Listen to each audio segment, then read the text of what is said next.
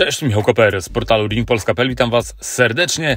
Tyson Fury, moi drodzy, wywołał wczoraj niemałe zamieszanie w bokserskich mediach, publikując na Instagramie wiadomość, że jego ekipa wysłała teamowi Antonego Joshua kontrakty na walkę, do której miałoby dojść we wrześniu na stadionie Wembley. Dziś te sensacyjne doniesienia w rozmowie z IFL TV skomentował promujący Joshua Eddie Hearn. No jak można się domyślić, nie potwierdził on rewelacji Króla Cyganów, choć jednocześnie przyznał, że coś tam jest na rzeczy, bo faktycznie był kontakt ze strony pracującego z Furym George'a Warrena. Jak sprawy się mają według Ediego Herna? Ano posłuchajcie, co powiedział Eddie Hearn Kuganowi Cassiusowi. Nie chciałbym nikogo rozczarować, ale trzeba mówić sobie prawdę, stwierdził Hearn. I nie chciałbym, żeby ktoś mówił bezpodstawnie złe rzeczy na temat AJ'a.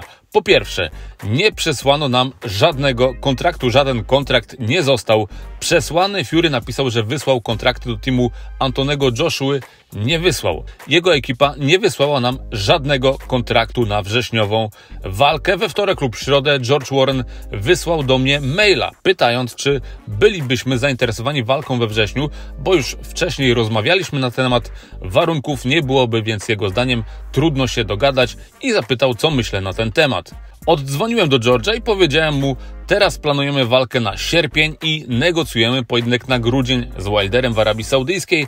Jeśli ten plan nie wypali, to będziemy przeszczęśliwi na walkę z Tysonem Furym. Z punktu widzenia AJ'a, kontynuował Hearn, wygląda to tak – jego w tych rozmowach kompletnie nie ma. On tylko widzi, co pisze Fury, czyli że walczy z Opytają, potem, że walczy z McKinnem, kolejną walkę stoczy w Australii, a potem dodaje, aha, wysłałem też kontrakt Antonemu Joshua. Z jego punktu widzenia Fury chce tylko zwrócić na siebie uwagę, no ale może nie. Z George'em Warrenem mamy dobre relacje, rozmawiamy ze sobą, ale szczerze, w tym momencie nic więcej powiedzieć nie jestem w stanie, nie ma żadnych kontraktów, jesteśmy w kontakcie z George'em i jeśli nasze plany nie wypalą, to jesteśmy otwarci na negocjacje z Furym.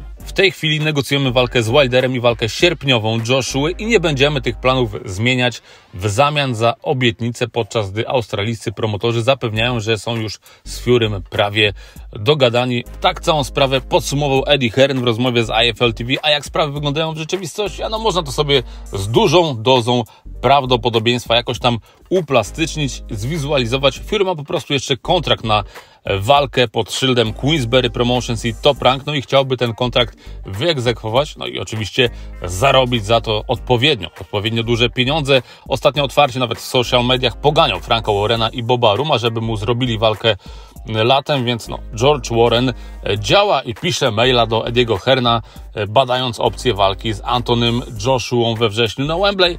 Tymczasem Fury rozgląda się swoją drogą za jakimiś tam walkami gdzie indziej, na przykład w Australii i pyta w międzyczasie George'a Warrena, Jerzy, co tam z tą moją walką, z tą walką dla mnie, którą mi jesteście winni? A Jerzy mu odpowiada, spokojnie Tyson, już wysłaliśmy kontrakty do Joshua, wszystko jest w porządku, na dobrej drodze, więc Tyson Fury pisze w mediach społecznościowych, na Instagramie czy tam na Twitterze, że kontrakty poszły i walka prawie pewna. Ta walka z Antonym Joshua we wrześniu na Wembley. E, pisze, no bo kto mu może zabronić e, pisania nie jeden raz i nie dwa. Pisał i wygadawał różne rzeczy w mediach społecznościowych. No i efekt teraz jest taki, że w mediach robi się raban, zamieszanie, piszą, że mamy we wrześniu walkę Joshua Fury, choć tak naprawdę nie ma nic poza luźną propozycją, jakąś tam konwersacją George'a Warrena i Ediego Herna, a tymczasem, i to są e, fakty, Antony Joshua ma już prawie dogadanego Deontaya Wildera za gruby szmal w Arabii Saudyjskiej, Planują też wraz z Edim Hernem pojedynek na sierpień i to będzie łatwe do zrobienia. I obie te opcje nie są pisane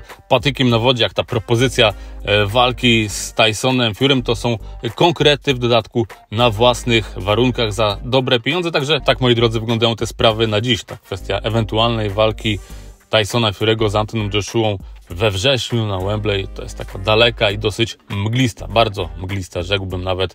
Perspektywa na razie tyle. Trzymajcie się, do zobaczenia, do usłyszenia. Bandziorno i dobrej soboty Wam życzę.